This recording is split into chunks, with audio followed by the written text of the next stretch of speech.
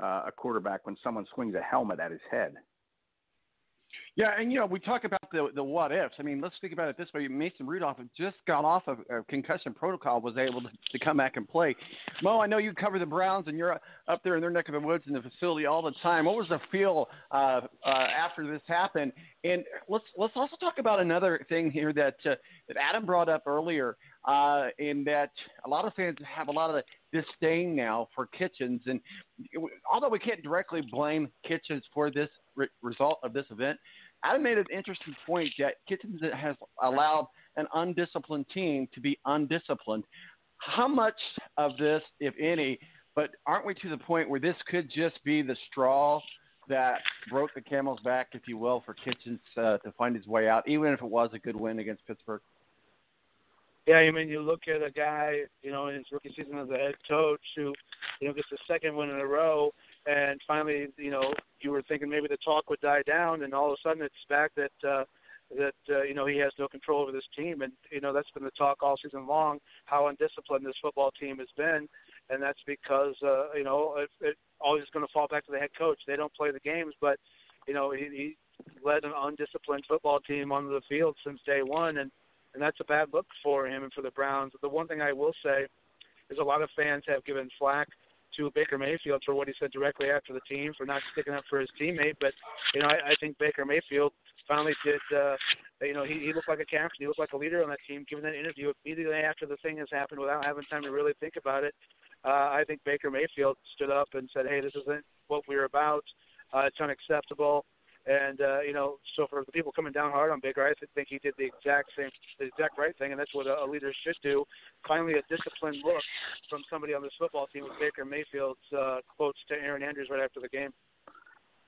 Right, and we can continue the debate. I know there's a lot of different angles, a lot of different takes on this. I just, at the end of the day, I think it just crossed the line from for being just a regular fight. You know, it's one thing if he was wearing a helmet, but as as as, uh, as Ed said, you don't hit a a basically a defenseless man. And let's let's look at the difference in size between Mason Rudolph and, and Myles Garrett. I mean, that's that's huge. Uh, but we'll, we'll, we'll continue this discussion if you want, but I do want to get around the NFL while we've got time to do that. We'll start with the Philadelphia Eagles. I know there's a lot of uh, uh, news and breaking news coming out of the Eagles camp. Uh, talk with us about the Eagles as you get ready for the Patriots, I believe, this weekend. Yeah, well, it is the Patriots, and the Eagles are probably going to be without their number one wide receiver and their number one running back. You know, Alshon Jeffery, the receiver, has already been ruled out uh, with an ankle injury. Somehow, you know, having a bye week didn't get make that any better. He suffered it late in that win over the Bears before the bye, and then Jordan Howard, their running back, uh, has a what they called a stinger uh, that he suffered in the Bear game, and now two weeks later he still has a shoulder problem. Hasn't been cleared for contact. You know, he's got seven touchdowns for the Eagles this year, Jordan Howard, and uh, he leads the team in rushing with 525 yards, and you might be without both those guys. You're already at without Jeffery, So they went out and signed Jay Ajayi, who you know was on the Super Bowl team two years ago, but hasn't played uh, in over a year after having ACL surgery when he tore his ACL in a game with the Eagles last year, early in the season.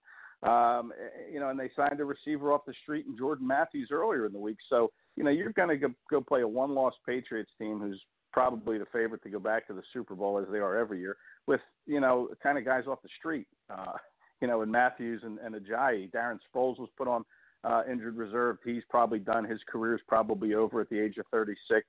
Um, so there's a lot of moving parts with the Eagles, and uh, you know the whole medical staff here in Philadelphia has kind of been called into question for kind of negligence. I mean, uh, you know, DeSean Jackson missed six or seven games. He came back against the Bears, played three snaps, and re-injured his uh, abdomen to the point where he needed surgery. Uh, you know, was he ready to return? Everybody seems to think he was, but the results say otherwise. He went to surgery. Same with Darren Sproles. He missed about a month with a quad injury. Played against the Bears, a handful of snaps, comes out of that with uh, a torn right hip flexor. So, you know, he's clearly not ready to return. But yet, uh, the Eagles keep running these guys out there, and they're getting even hurt even worse once they return from injury. So there's a lot going on in Philadelphia off the field that uh, I don't see how it's not a distraction against the Patriots uh, this weekend. You know, New England obviously they lost that Super Bowl two years ago. There's been talk about that. Obviously, these are two different teams now, roster wise, even coaching wise.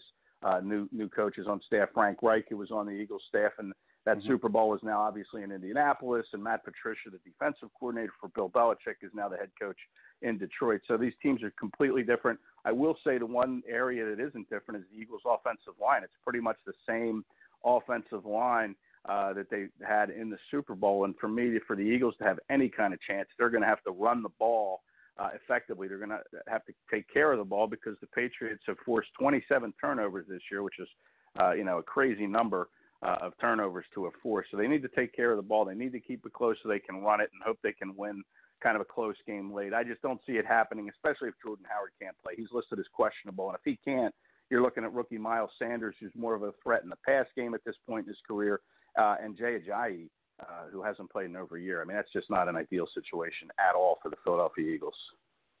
And let's not remember there's a little thing that, that they are still a little butt sore about, and that was the fact that you took a Super Bowl away from them.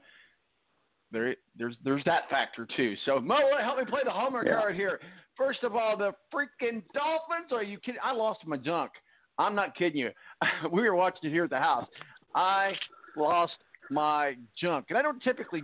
I'm not typically one of those fans that yell and scream and throw things. I tore my jersey off, and I was cussing Adam Vinatieri, I was cussing Brian Hoyer, and anybody else I could name. But I mean, a disappointing loss. But to lose to the Dolphins, and then to see one of the greatest kickers to ever play the game, um, a friend of mine who covers locally uh, here in town says, you know, there was probably 30 or 40 reporters all huddled around Adam Vinatieri at the end of the day, he's just a kicker. You never see that with a kicker. So we're just struggling. It's good to have Jacoby Brissett back uh, tomorrow against a very important must-win at home against the Jacksonville Jaguars. But man, give me something to believe in, Mo, with the with the Colts. well, you know the uh, the injury bug, like most NFL teams this time of year, is hit the Colts hard. You know, no T.Y. Hilton in there. That really puts a lot of pressure on your other receivers uh, you know, to try to get open. When T.Y. Hilton's in the game, he, yeah, he doesn't make every catch, or but he he puts uh, a lot of uh, focus from the defense on, and so that hurt Brian Hoyer. Uh, you know, no Jacoby Brissett uh, was uh, you know huge for this team the last couple of games. And you know the Colts defense looked terrible last week against the Dolphins. I mean, not quite to be quite honest, they they just looked terrible. They let Ryan Fitzpatrick look like an All-Pro quarterback, and and that's a problem when you're playing a team that's that bad.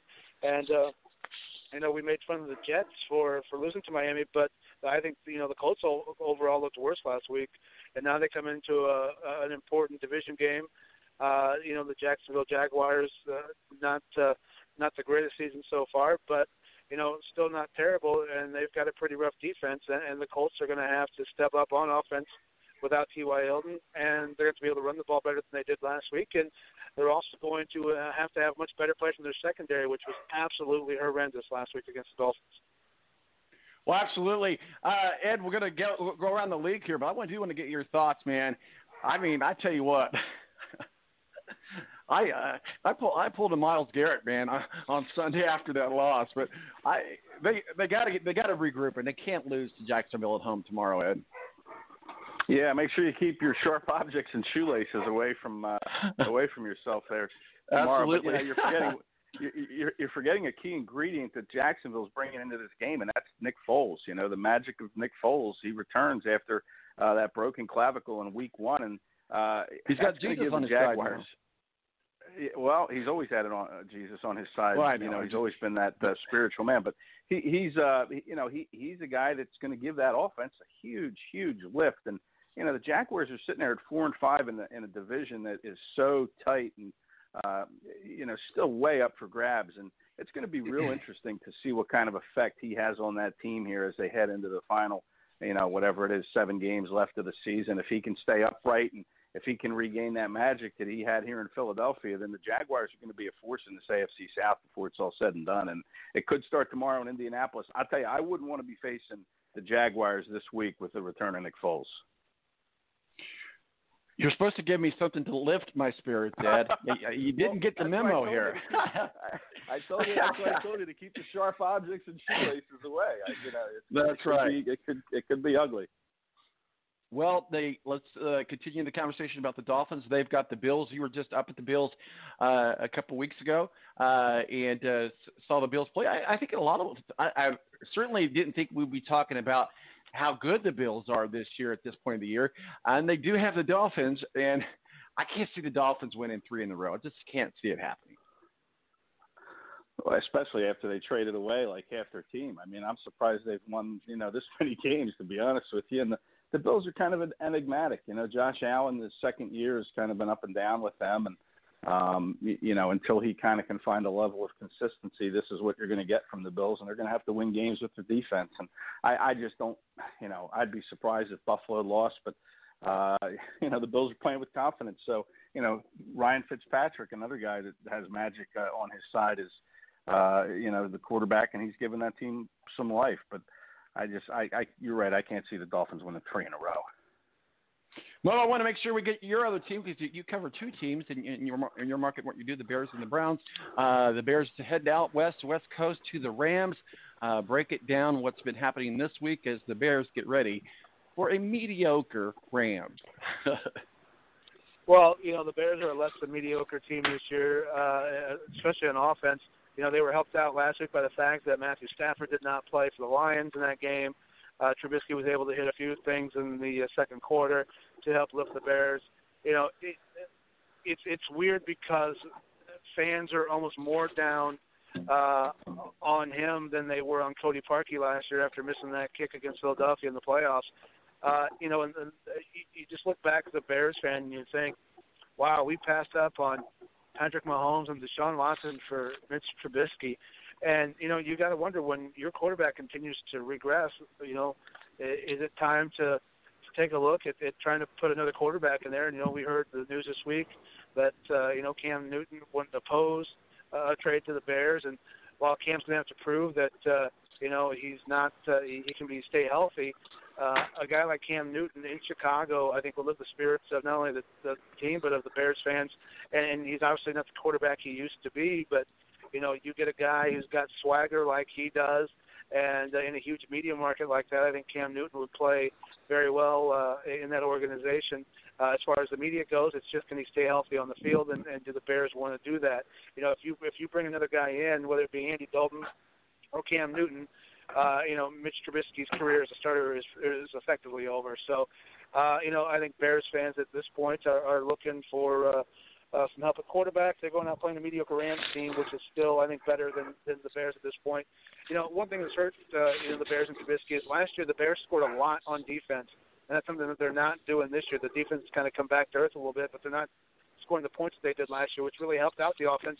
Which, if you go back and look, was just okay last year. They were nothing great. The Bears defense scored a lot of points last year for them. So uh, I think going out west for this team at this point is going to be a loss to uh, to the Rams, even as mediocre as they seem to be right now.